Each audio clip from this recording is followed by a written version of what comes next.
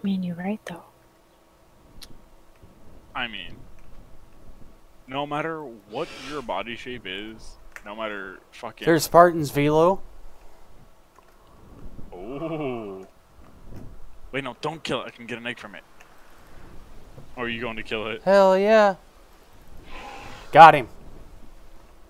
no fucking way. Is that that's the wasn't that the biggest velo on the Yep.